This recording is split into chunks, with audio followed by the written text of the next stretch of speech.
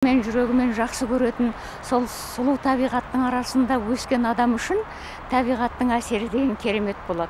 Осы жерде мінекей қазір біраз осы әңгімелесіп жүріп жатырмыз өмір жайлы жыр жайлы әңгімелер айтып осы жерде жүргенде маған бір ойлар келіп жатыр ол ойлар міне енді мына менің мұхтар бауырым айтады кішкене арқаңызды күнге беріп былай шуаққа таман тұрыңыз деп. Маған мынадай ой келіп жатыр. Тұрайыншы арқамды күнге беріп бұл араға жүргем жоқ күнде келіп. Біздің зәуреш аумайды ә, бейін осынау шыршалар арасында жүрген еліктеп міне еліктің маралдың өзім енді тауда өскен қазақпын ғой сол көп көрген. Сол сені сондай бір ойлар келіп жатыр енді ұмытпай тұрғанда осы ойларды жалғастырып аманшылық болса мен ойлаймын шыршалар арасында жүрген елік деген бір топтама жазылады деп ойлаймын жаңа жыл қарсаңында мынау аппақ дүниеге бөленіп жатқан аппақ дүние кіршіксіз таза қардың үстін басып тұрмыз. Бүкіл адамзат баласының көңілі сондай кіршіксіз таза болса пак болса қандай өмірде ешқандай жамандықтар қиянаттар соғыс атаулы болмаушы еді. Болмас еді. Ал енді өкінішке орай бұл қар дегенде өзі уақытша дүние. Қыста жауады көктемде кетеді. Вот мынау өмір де солай. Адамның басындағы мезгілдер адамның өмірі де солай. Өмірдің де төрт мезгілі көктемі жазы осы мінекей ақпандатқан қысы ақ бораны күзі болады. Сол енді мен осы мына қар жауған сайын бір дүние өзінің мынау пак дүниенің осындай кіршіксіз аппақ үлбіреген ақ торғынға бөленіп жатқан дүниені көріп қуансам екінші жақтан мұңаямын өйткені ә, мен қазір өмірдің күзін бастан кешіріп жатқан сияқтымын. Көктем алыстап жазы ұзаңқырап сол алтын күз бізге келген сияқты. Ал енді сол алтын күз де кетіп егер өмір болса ғұмыр болса тіршілік болса осы өмірдің қақаған қысы да келеді ау деген бір уайым түседі. Соған байланысты қыс туралы өлеңдерді көп жазып жүрмін. Енді ол қазір мен көңілсіз өлеңді оқымайын бірақ қысқа байланысты бір екі өлең оқып берейін. Қар жауып тұр керемет дала деген балалар мәз ойнаған шанаменен есіңде абай айтқан қалады өлең адамның бір қызығы бала деген. Қар жауып тұр ерекше қалынғандай кең дала сұлулыққа малынғандай оранған аппақ қарға мынау дүние бір жола кінәсынан арылғандай. Қаншама әурелікке салсаң мейлің оған да көндігер ау тарпаң көңілім. Ұлпа қарға малынған айналамдай сұлулық құшағында қалсам деймін. Себебі сұлулықтан жаралғанмын сұлу тау сұлу көлден нәр алғанмын. Сұлулықты бере көр жүректерге ей періште жаңа жыл тазарған күн. Сұлу мінез тұрғанда сұлу жүрек. Келіспейді жандарға жүру жүдеп. Қыс өзінің енген ау қаһарына торғайлардың барады дірілудеп неткен үнсіз сұлулық мұншалық бұл қалың қарды таулар да қымтанып тұр. қалың қарды қымтанған алатаудың ұшар басын қыран мен жауып тұр. Әкем марқұм айтып еді балам домбыраны әнді ешкім сенің қолыңнан алмайды. Қай уақытта болса да сен айта бересің. Ал енді біздің атаңнан қалған мынау ақындық. Үлкен атамыз айтқожа қажы би болған енді өте сондай сорып салма шешен төкпе болған ә, біздің атаңнан қалған осы тұқым қуалап келе жатқан ақындық сен осы ақындық әдебиет жолынан айырылма деп маған жол сілтеген әкем болатын. Соңғы жылдары өзі э, есте қалатындай айта қалатындай көп э, э, оқиғалар болып жатыр. Ең алдыменен біздің мына тәуелсіз еліміздің өмірінде болып жатқан оқиғалар. Керемет сондай мынау тәуелсіз еліміздің күн санап ілгерілеп жаңарып жақсарып сондай бір бүкіл мынау халық халықаралық өркениетті елдердің қатарына қосылып жатқан үлкен сондай тарихи оқиғалар сондай күндерді бастан өткізді. Біз оның куәсі болып жатырмыз. Ақын тағдыр дейтін өзінің елімен жерімен бірге ғой. Оның үстіне мен жастайымнан елімнің жерімнің тағдырын жырлап сонымен бірге сол сөйтіп келе жатқан сөйтіп есейіп келе жатқан ақын болғандықтан мен бұл нәрселерге жай қарап қала алмаймын. Мысалы өткенде осы астанада өткен бүкіл мынау әлемнің діни адамдарының бас қосылған кездесудің өзі қандай әсерлі болып өтті. Олар біздің еліміз ғана емес сол шеттен келген елдің сол өкілдерінің өзі қандай қуанып біздің еліміздің атына елбасының атына үлкен келелі ойлар сөздер айтты. Бұның өзі біздің еліміздің тәуелсіздік алғаннан кейін жетісіп жетістікке қолының жетіп өзін өзі еркін болып өзін өзі өз еліне өз тағдырына ие болып сондай бір кең көсіліп келе жатқан бір көріністер. Осы мына қытай халық республикасының өкіметінің жазушылар одағының шіңлің атындағы соң шіңлің дейтін қытай халқының аса көрнекті қоғам қайраткері суньяцин дейтін әрі жазушы әрі дәрігер сол үлкен ғұлама адамның әйелі болған қытайдың атақты сұлуы.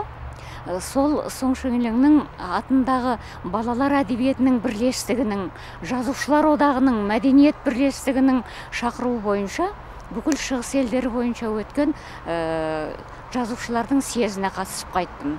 Бұл алдыменен пекинге барып пекиннен ары қарай далян қаласында өткен сол жиынға қатыстым. Бұнда бүкіл шығыс елдерінің ақын жазушылары келді жапонияның вьетнамның кореяның индонезия қытайдың моңғолиядан екі адам барыпты орта азия елдерінен.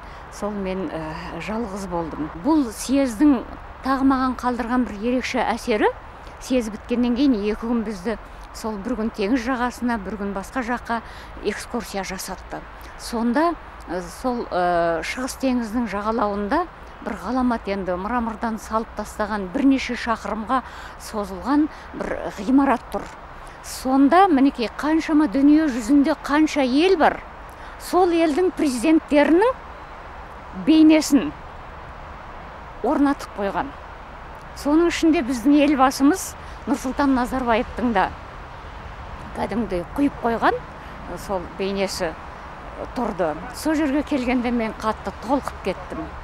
Бұрын одақ кезінде ел қатарында еленбеген тек қанша ұлы адамдарымыз болса да ұлы тарихы бар ұлы елі бар ұлы шежіресі ұлы көші бар осындай ұлы халық қазақ халқы аз болса да ұлы халық осындай еленбей ескерілмей жүргені мына тәуелсіздіктен кейін тағы да еріксіз көзіме жас алып толқыдым сонда.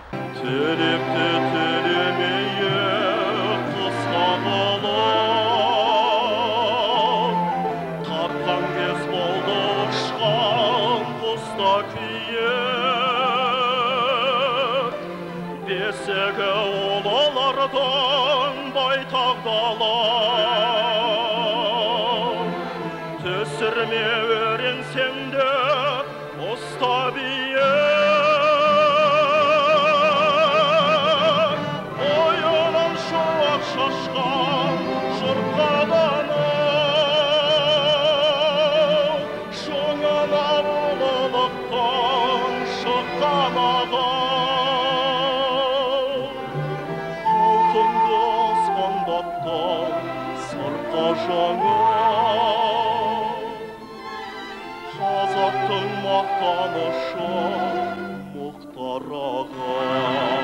Сол қытайға барар съезге барар сапардың алдында түркия еліндегі қазақтардың шақыруымен сонда бардым. Онда көшіп келген қазақтардың қоныстанғанына елу жыл болған елу жылдық торқалы тойларын өткізді. Бұл әлемдегі сол қоныс аударған қазақтардың басын жиып анау германия швейцария америка англия сияқты бүкіл елдердегі қазақтардың басын қосқан бір керемет үлкен ә, кездесу болды. Әрине маған сөз берді сөз сөйледім ә, сол өлеңдер оқыдым жаңа жазылған өлеңімді сол ә, сонау алтайдан ауып түркия еліне барып қоныс тауып сол жерден ә, небір қиын күндерді бастарынан өткеріп енді сондай бір елу жылдық тойын тойлап жатқан елді көргенде жасыратыны жоқ. Э, ол тек көзге ғана емес көкірек жүрек жылап тұрды. Сондай өлеңімді оқып бердім. Ел де жақсы қарсы алды. Сөйтіп бір ә, сол сапардан ә, топтамалар жазып қайттым. Көп ағайындарды көрдім. Енді ақын үшін бұндай сапарлардың орны бөлек. Өйткені ол жай ғана сен қыдырып жүрген ә, әлгі жаһангез емессің. Немесе сауда саттығын ә, жасап дорбасын арқалап жүрген саудагер емессің. Сенің өмірің творчествоға елге байланысты болғаннан кейін әйтеуір сол барған жерден бір жақсы жаңа бір әсерлі дүниелер жазып қайтсам деген көкірегіңде жүреді.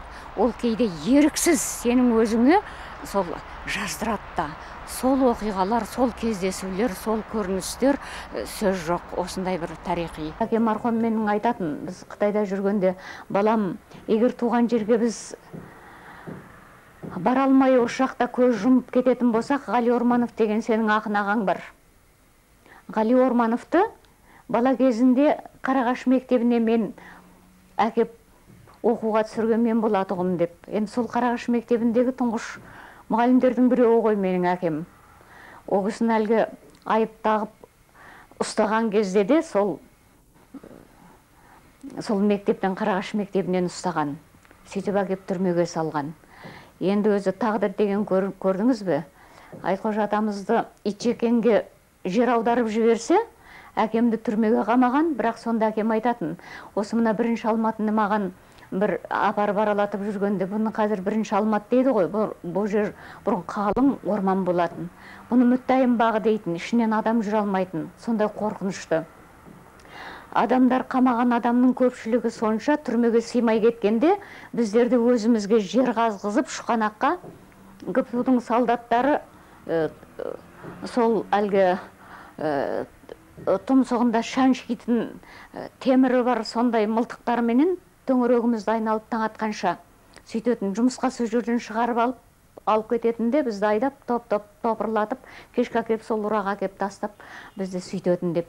Әкем міне енді әлгі қырық жыл қырғын болса да ажалды өледі деген сияқты сол сол жерден қытайға қашыпты. Қалың ойға қамалған мен секілді. Көре көре талайын қиянаттың көңіліме көл арман ұялапсың. Қалың ойға қамалған мен секілді. Бұл тасынан қарайды қиялап күн бұл тасынан қарайды сығалап күн. Айтшы тағдыр қашанғы сынамақсың. Қасарысқан тағдырға қарсы келіп жүрегімді жүдетпес жыр орапсың. Ақ түтек ақ борандай құйындаған түсінер ме осынау күйімді адам? Несібеге қол созбай бұйырмаған өлең жазып өтті өмір ұйымдаман. Қатыгез тағдырымның күшінен бе кездер болды жаураған үсіген де дауылға ерте шалдыққан пақ жанымды. Төрде отырған ағайын түсінер ме? Түсінер ме күйімді алақұйын көшіріппін кеудеме дала күйін? Ақпандағы ақ түтек шыршағы ұқсас ақ қырауға көмілді қара бұрым. Көре көре талайын қиянаттың көкірекке көл арман ұялапсың. Қалың ойға қамалған мен секілді бұлт астынан қарайды сығалап күн. Ақын өлеңін атақ үшін немесе басқа нәрсе үшін жазбайды. Өмірден өткен ұлы абай міне қанша Э, уақыт өтсе де ұлы абай болып қалды ғой. Ол ешқандай атақ үшін жазбаған. Э, вот. Сол әлгі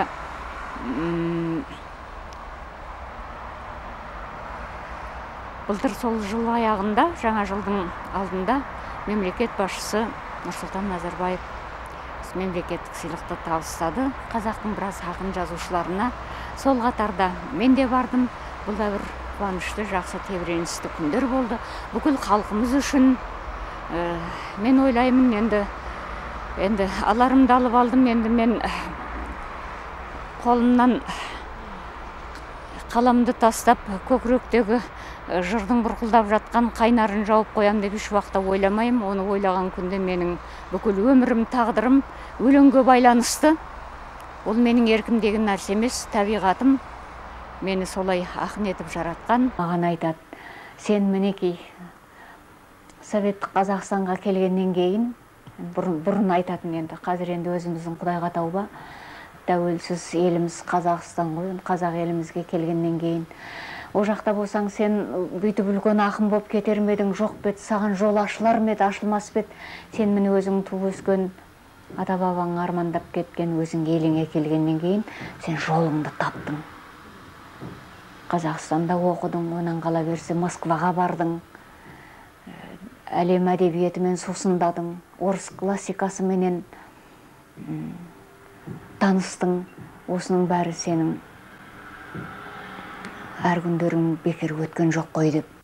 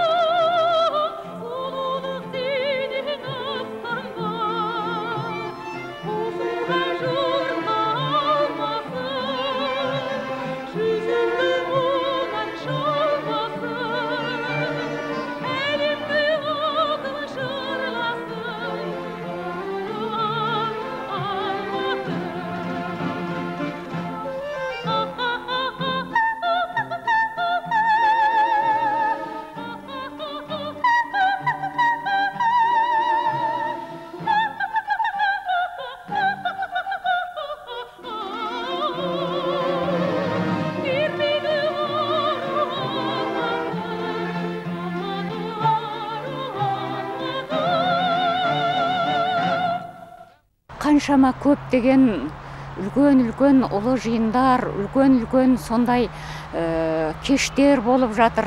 Ә, шүкіршілік мақтанған емес құдай мақтанғаннан сақтасын. Бірақ енді халық білет ел сыйлайды. Қайда барсаң да менен бұрын сен бұл атақты алмап па едің айналайын? Сенде жоқ па еді бұл атақ деп жүрген адамдарды да естідік. Дегенменен осы енді өзі мен әр уақытта тағдырыма ризамын.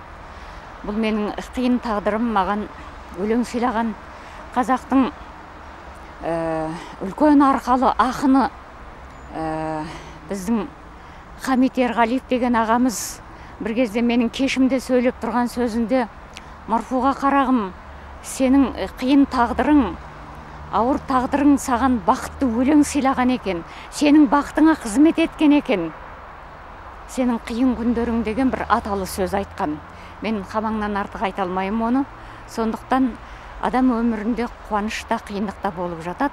Ал сол қиын күндерім маған үлкен сезім осы ел жұртқа деген ата мекенге деген халқыма деген туған жеріме табиғатқа деген сол бір еліме деген бір шексіз махаббат сезім сыйлап кеткен екен. Мен ойлаймын енді адам өмірін кесіп пішіп айту қиын. Тағдыр кілт менің жолымды кесіп тастамаса мен өлеңімді жаза берем деген. Мынау аққу жүрек деген кітабым қашан шығады деп асыға күтіп жүрмін үлкен поэмалар соңғы он шақты жыл ішінде жазылған өлеңдерім. Осы аққу жүректе ал енді сыйлық алған аңсау кітап ол өз алдына. Енді осы аққу жүрек шығып кетсе қазір жазып жүрген біраз дүниелер бар. Сен маған хабарластың қар жауғанда қаншалықты мәні бар аңғарғанда үніңнен бойға жеткен бір жылылық қайтадан бөлегендей жандарманға. Бөбектің бейне аппақ құндағындай қалың қар жаумаушы еді жылда мұндай. Тағдырым мені тағы сынап жатыр шыңдалып келсем дағы шыңдалудай. Жылатып жұбататын өмір ау бұл киіктің жетім лағы маңырап жүр. Сен маған хабарластың қар жауғанда қайтадан күмбірледі қоңырау жыр. Тұрғанда қоңырау жыр қоңыраулап ағады өмір өзен омыраулап. Кетер ау кетсе дағы жат пиғыл жан кетер ме менен жастық өмір аулақ. Сен маған хабарластың қар жауғанда қаншалықты мәні бар аңғарғанға үніңнен бойға жеткен бір жылылық қайтадан бөлегендей жандарманға жандарманға семей өңірінде аягөзде өткен дулат бабамыздың 200 жылдығын тойлаған үлкен тойға қатысып қайттым. Ә, батыста махамбеттің 200 жылдығы аталып жатса семейде сол дулат бабамыздың бұл абай өзіне ұстаз тұтқан сондай ұлы ақынның ұлы ойшылдың сондай кемеңгер адамның осы уақытқа шейін үні шықпай сол ғасырлардың қатпарларында ә, басылып жатуы деген соларды ойлағанда біз кімбіз деп ойлайсың? Біз ана бүгінгі ғана мынау жер бетіне келген осы заманның ә, қанша айтқанменен тағдырымыз қиын деп күрделі деп айтсақ та біраз өмірдің творчествоның ә, қызығын көріп жүрміз ғой жемісін көріп жүрміз көзіміздің тірісінде естіп жүрміз. Махаббатқа да марапатқа да бөленіп жүрміз оны ұмытуға болмайды. Дулат бабамыз жатқан үлкен ә, төбенің басына жиналған халықта есеп болмады. Халық мына жақтан ақындардың мүшәйрасы өтіп жатыр. Мына жақта ә, бір күнде керемет сондай ашық сосын арқаның желі есіліп соғып тұрған арқаның желі деген самалы деген күн қандай ыстық болса да бір ғажап адамның жан дүниесін рахатқа бөлейтін осы арулардың ә, аналардың аппақ орамалдарын алып қашып аспанның ақша бұлты сияқты сондай бір ә, әншілер күйшілер ақындар сондай бір ә, жанды бір керемет бір ә, сезімге бөлеген бір ғажап күндер болды. Қарлығаш келіп қайтадан көпірге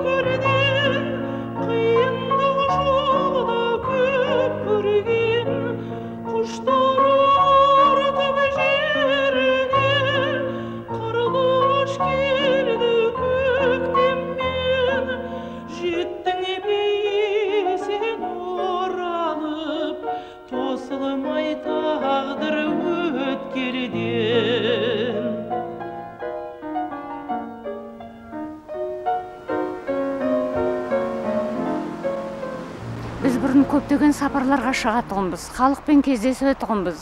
Биленді ауыл, ауыл жылы деп атандырды. Біз бұрын ауыл жылы болмасақ та өзіміз сол ауылда туып өскеннен кейін ауылды сағынып аңсап барып халықпенен ауылдағы жұртшылықпенен оқырмандармен кездесу өткізіп бір рахаттанып қайтатұғынбыз. Ал енді қазір ондай нәрседен ақын жазушылар тыйылып қалды ғой. Мынау заманның біраз мынау несіне байланысты енді э, шынын айту керек ауылды сағынып жүреміз аңсап жүреміз.